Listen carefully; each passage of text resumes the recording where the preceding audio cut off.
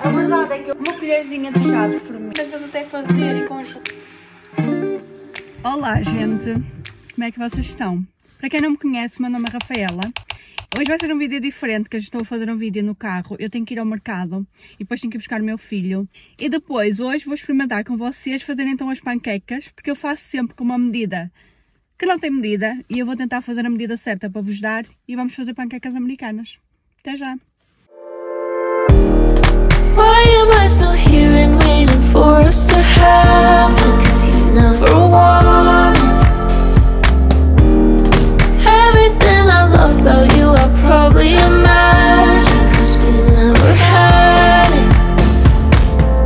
Funny it's been so long And so there's nothing that's changed Então como prometido eu vou-vos ensinar como é que eu faço as minhas panquecas americanas. Eu faço muitas vezes e quando eu partilho no Instagram, muitas pessoas perguntam-me qual é a receita. A verdade é que eu faço a olho, mas eu tentei agora saber as medidas e acho que sei mais ou menos quais são as medidas certas para fazer as panquecas. É muito simples, eu não utilizo grande coisa, o básico dos básicos. Vocês podem fazer as panquecas ou doces ou salgadas, depende do que vocês queiram mas uh, eu gosto delas salgadas, por isso eu coloco sempre uma pitada de sal, mas vocês fazem como vocês preferirem. Então, bora lá! Eu já tenho então aqui tudo pronto, vocês vão precisar de um copinho de farinha, eu utilizo estes medidores, que ele até diz aqui do lado o equivalente a 250 ml ou o equivalente a um cup, eu coloco assim um copozinho deste, um ovo, uma colherzinha de chá de fermento, que eu depois vou tirar, e um copo igual a este de leite. E vamos então agora fazer a mistura. É só colocar tudo para ali para dentro, é muito fácil. Olhem, eu sou muito prática a fazer as panquecas, é uma coisa muito rápida, eu vou-vos mostrar.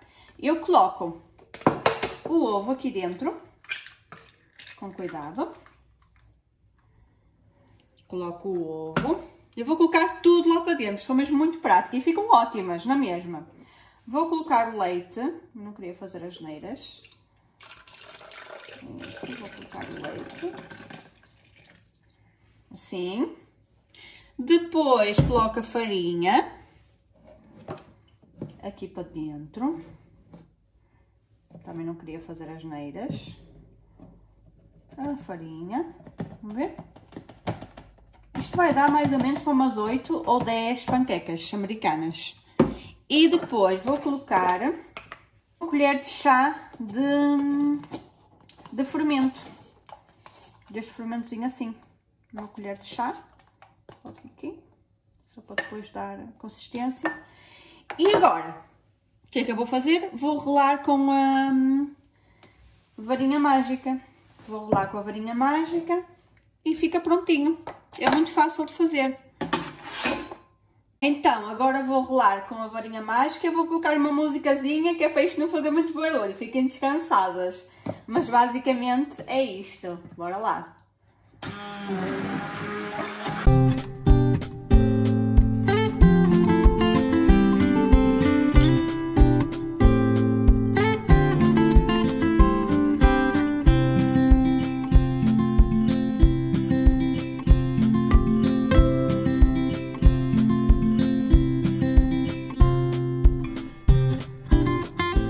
Massinha já repousou, já está, olha como é que é a consistência, é assim, bem grossinha, que é para elas ficarem bem fofinhas.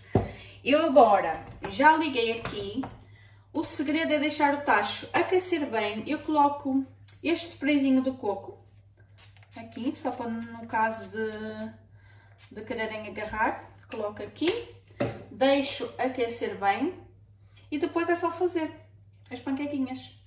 Eu vou-vos mostrar como é que eu faço. Eu, às vezes, também costumo fazer no, na máquina do waffles, que eu vou-vos buscar para mostrar. Eu vou buscar. Eu, às vezes, também faço nesta máquina, olhem.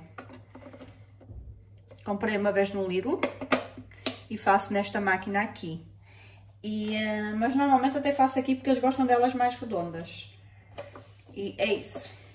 Óleo já está quentinho. Eu tinha começado a fazer, mas o vídeo não, não estava a fazer e eu vou voltar a fazer outra vez. Eu vou colocar aqui uma, umas três, vamos ver.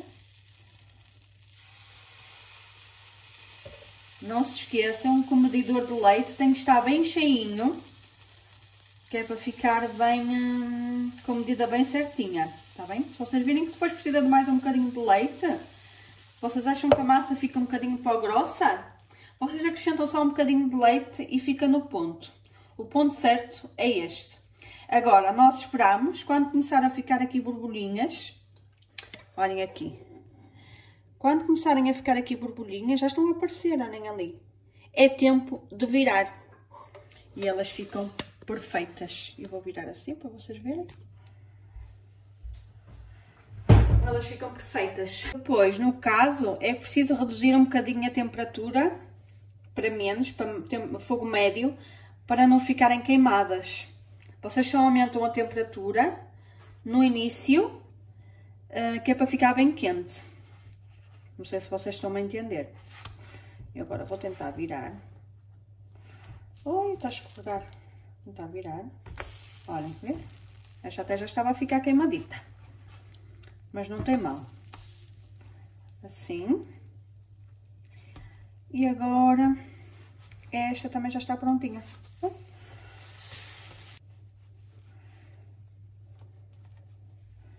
Já tenho aqui um pratinho pronto para colocá-las. Assim.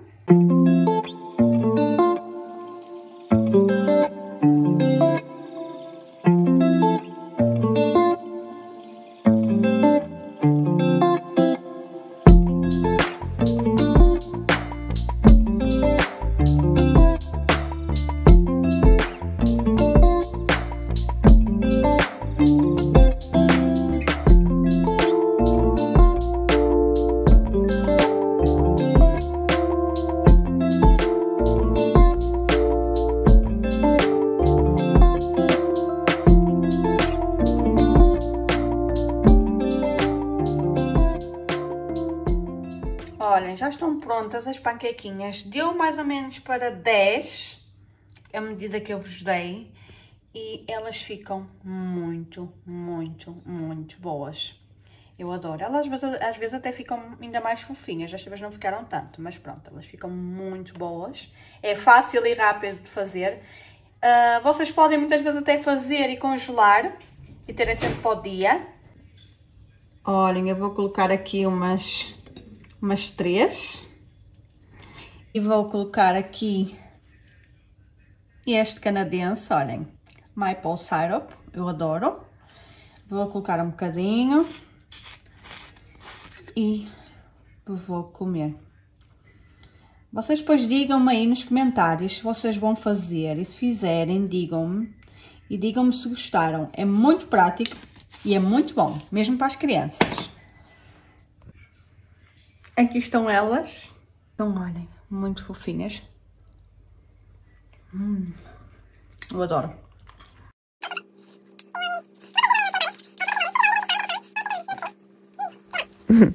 então, como vocês podem ver, eu fiquei maluca a comer as panquecas, que nem me despedi. E eu desejo-vos um beijinho muito grande e até ao próximo vídeo.